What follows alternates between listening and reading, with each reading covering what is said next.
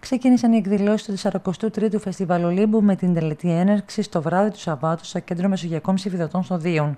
Την έναρξη έκανε η Υπουργός Τουρισμού Όλγα Κεφαλογιάννη, η οποία αναφέρθηκε στην ιστορική διαδρομή του φεστιβάλ. Ενός φεστιβάλ με ιστορική διαδρομή 43 ετών που προσφέρει στους επισκέπτες μοναδικές εμπειρίες.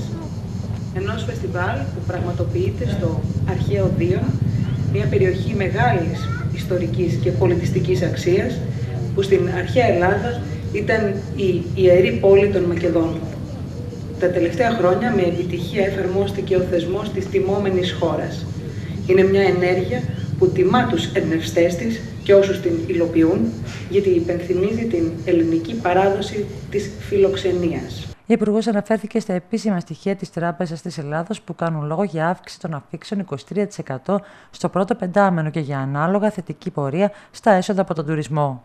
Όλα αυτά δεν είναι τυχαία. Είναι αποτέλεσμα μεθοδικής δουλειάς. Είναι αποτέλεσμα συλλογικής δουλειάς όλων των εμπλεκόμενων φορέων, αλλά κυρίως είναι αποτέλεσμα των προσπαθειών της ελληνικής κοινωνίας.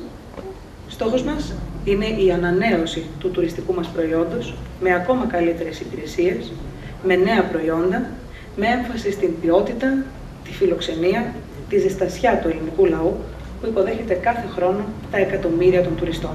Ο πρόεδρος του Οργανισμού Φεστιβάλ Ολύμπου, Γρηγόρης Παπαχρήσος, επισήμανε μεταξύ άλλων πως για δύο ολόκληρους μήνες το Φεστιβάλ Ολύμπου θα προσφέρει στους ντόπιους αλλά και ξένους επισκέπτες του αξιόλογες θεατρικές παραστάσεις, μοναδικές συναυλίες, σπάνιες οικαστικέ εκθέσεις, κινηματογραφικές προβολές, αρχαιολογικές ομιλίες και μία σειρά άλλων εκδηλώσεων ανώτερης ποιοτικής αξίας και αισθητικής.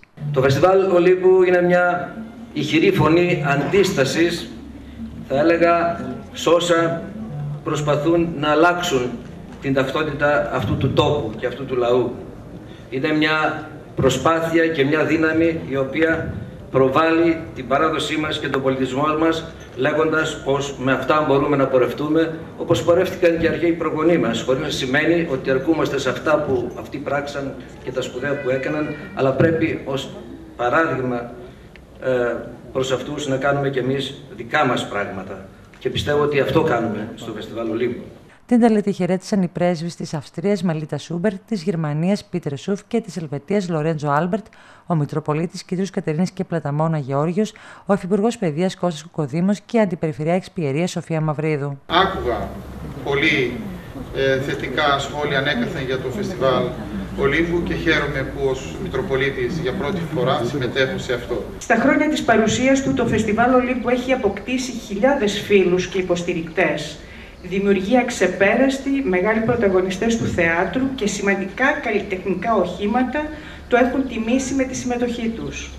Βιωματικές εκδηλώσεις που διευρύνουν την προσωπικότητα του θεατή, που αναβαθμίζουν την πολιτιστική ταυτότητα του ανθρώπου, του περιβάλλοντος και ανατόμες πολιτισμικές συνεργασίες με την ανάδειξη κουλτούρα από όλες τις χώρες του κόσμου.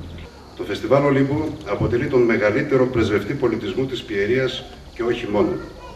Με μεγάλη προσπάθεια, επιμονή, σκληρή δουλειά, ακούραστοι άνθρωποι συνέβαλαν όλα αυτά τα χρόνια από την γέννηση του σήμερα να καταστήσουν το Φεστιβάλ Ολύμπου σε ένα από τα σημαντικότερα πολιτιστικά γεγονότα στη Βόρεια Ελλάδα.